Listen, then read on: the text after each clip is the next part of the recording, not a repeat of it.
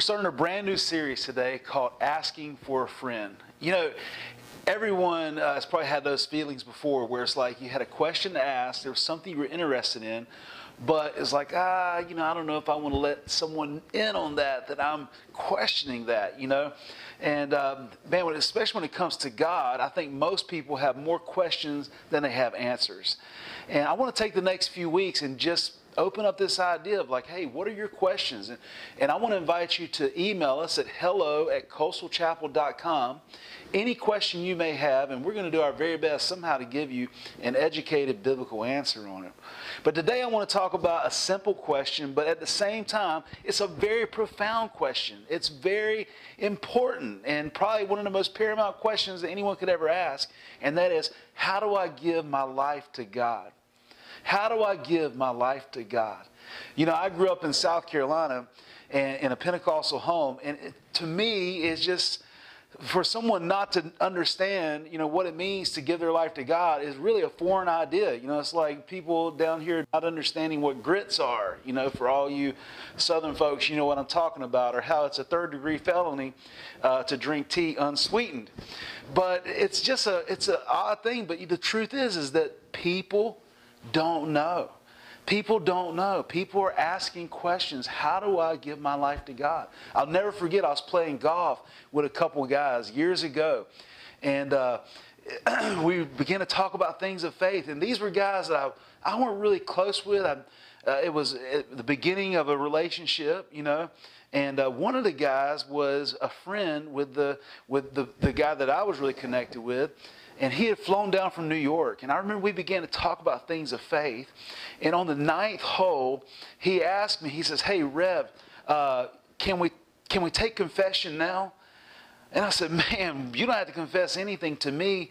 And I began to tell him about, you know, how no man stands in between us and God.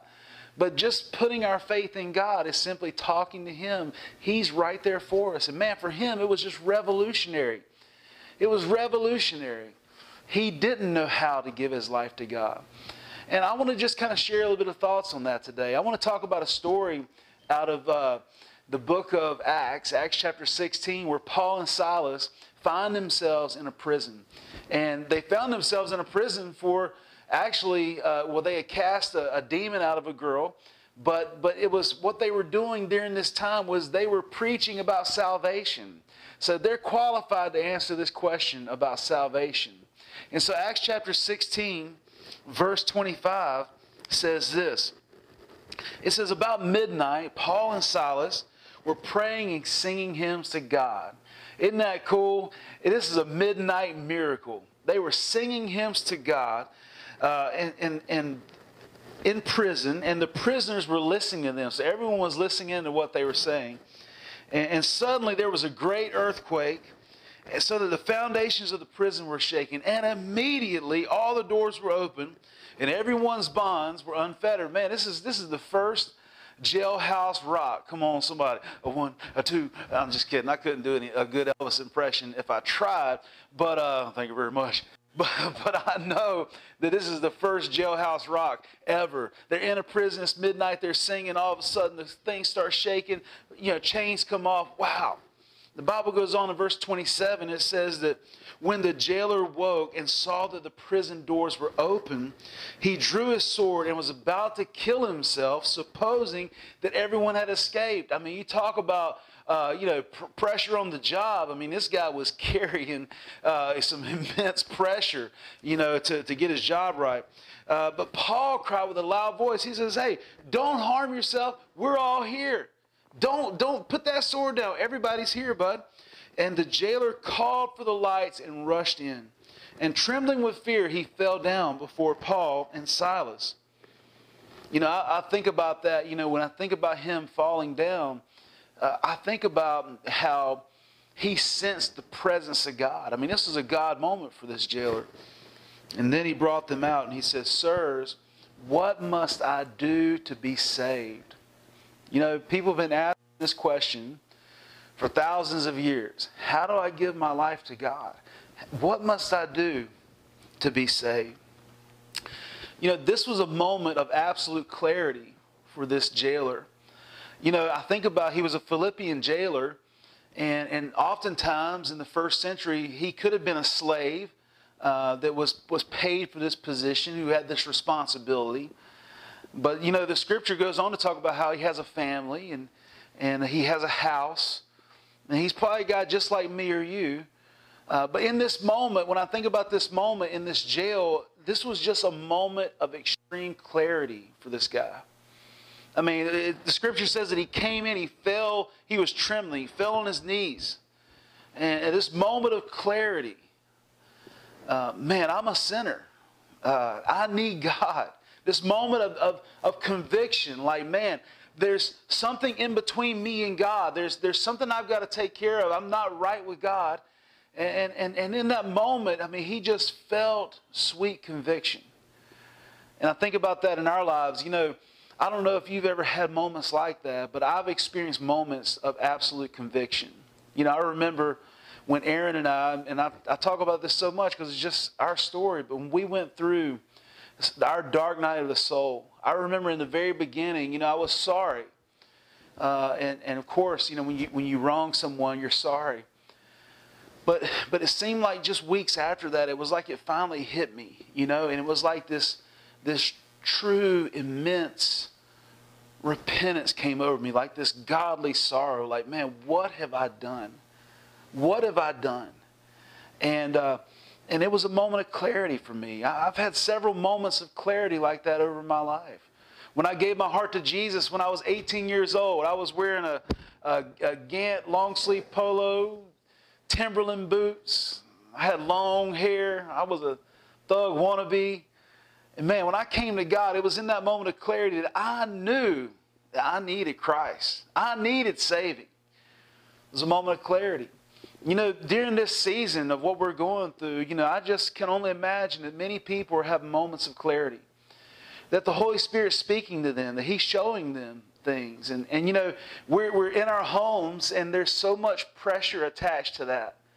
You know, there's, there's, we don't have all the outlets that we've had before. We can't just go to the movies. How many of you guys are like me? And when you get stressed out or you feel like you're about to burn out, I just go to the movies. I can't tell you how many times I've been by myself and seen two movies back to back.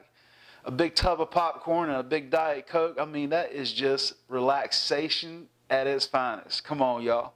But you can't do that now. You can't go out to the movies now. You can't go to a baseball game. You can't go to the mall. How are we blowing off steam? I mean, we're just trapped in our homes.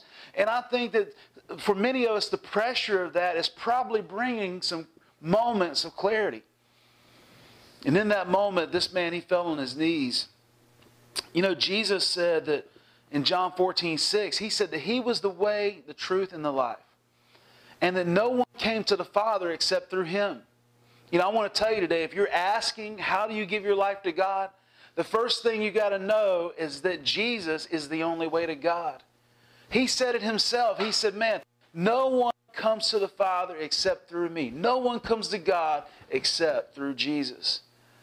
In John 6, Jesus said that no one comes to me unless the Father draws him. You know, I'm talking about how do you give your life to God today. You know, I want to tell you that those moments of clarity are only by the Holy Spirit. They're only by God. It's only the Spirit that draws us. You know, man, if, if God is convicting you, if God is drawing you, if God is speaking to you about your life, don't just shove it off as like, oh, that's just what I'm feeling. That's just me. I'm feeling too much. No, you need to recognize this is a holy moment of clarity where God is drawing you in. He's drawing you because He's the only way to the Father. And if you're being drawn to the Father, it's through Jesus. And it's a gift of clarity that God gives you. It takes a work of the Holy Spirit to show us our sinfulness and to show us that we need a Savior. You know, Paul said, I grew up with this my whole life, and I think it just brings such clarity to the story of salvation. It's called the Romans Road. And the first stop in the Romans road is a passage of scripture, Romans 3.23. And it says, For all have sinned and fallen short of the glory of God. You know, I'm going to tell you, there's not one person that's watching this today or tomorrow or next Friday or a year from now that hasn't sinned and fallen short of God's glory. There's no person on, uh, on this planet that's perfect and without sin. You know, all of us miss the mark, and that's really what it means. It means miss the mark. You know, if you've been married for any amount of time and you've got a good wife, husband, you know that you've missed the mark. Come on. Give me an amen right there where you're at. Missing the mark. We've fallen short of God's glory. We just can't attain the holiness of God on our own. And so recognizing that sinfulness, that's the first step in giving our life to God. If you want to give your heart to God, it's got to be with an attitude of repentance, saying, Lord, this sin that I'm carrying, I don't want to carry it anymore. Well, the second stop on the Romans road is, is, is, a, is a crucial one. It's Romans 6.23. And it says that the wages of sin are death, but the gift of God is eternal life.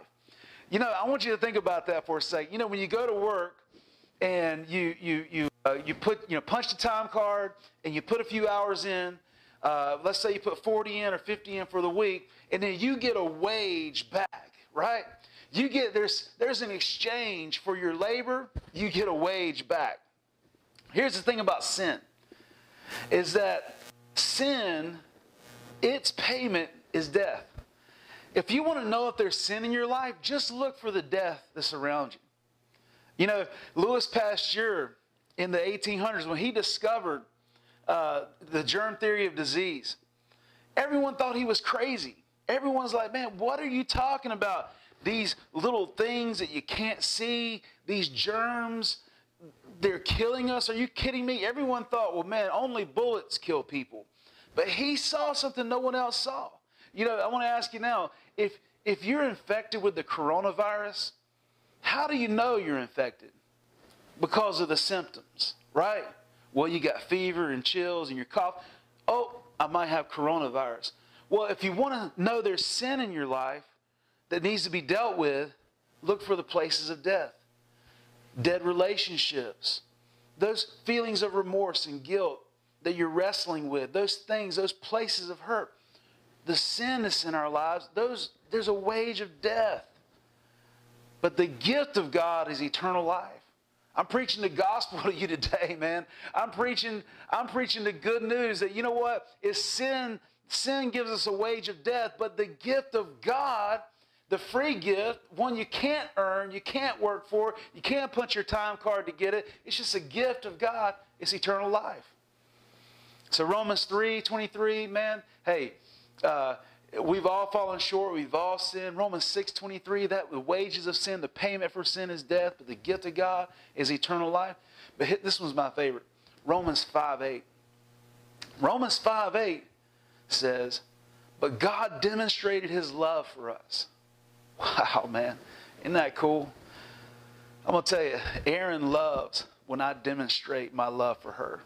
When I bring her some flowers, or when I give her a nice embrace, or come on, somebody, when I start vacuuming that floor, I start washing those dishes. I start taking the kids. When I say, hey, babe, I'm going to take the kids for a little bit. Once you get some. When I start demonstrating my love, she perks up. Well, you know, God demonstrated his love for you. And he did it in the most lavish, intense way ever. Come on. He sent his son. God demonstrated his, his love for us. While we were still sinners, he gave his only son for us. Isn't that cool? God gave us his son. He gave us the best he had. He gave us the best he had in Jesus. So, you know what? You might be feeling, you might be having moments of clarity through this season. You might be saying, man, I'm falling short in a lot of ways. I'm falling short in a lot of ways. But I want to tell you something. Even though the wages of sin is death, the gift of God is eternal life. And you have a Father who loves you. You have a Heavenly Father that cares about you. The scripture says that every hair on your head has been numbered. That's right, ladies, even the gray ones that you're trying to pull out. God has them numbered. He loves you that much. As far the scripture says this, it says as, as, as the as many as the sand on the sea. Right? All those grains of sand. That's how his thoughts. Wow, the Lord loves us so much. And he gave us his son, Jesus, to die as a sacrifice to make payment for our sins. Romans 5 8, such a good one, right? And then here's the last one is Romans 10 9. And this is this is where it gets a little technical, okay? Now remember, we're talking today about how do I give my life to God? You know, if you're watching this and you're you're asking this question, I want to tell you this is the this is the, the technical part. Catch this. It says, if you confess with your mouth and you believe in your heart the Lord Jesus Christ, right? If you be, confess with your mouth, if you believe in your heart that God raised the Lord Jesus Christ from the dead, come on, you shall be saved. If you confess with your mouth, what does that mean? Well, that basically means that, that you have to say with your vocal cords and your uh, lips, you have to say that Christ is Lord. That you believe in the gospel. What is the gospel? The gospel is that Jesus came as God. He walked on this earth. He gave his life for us as a payment for sin by death on a cross.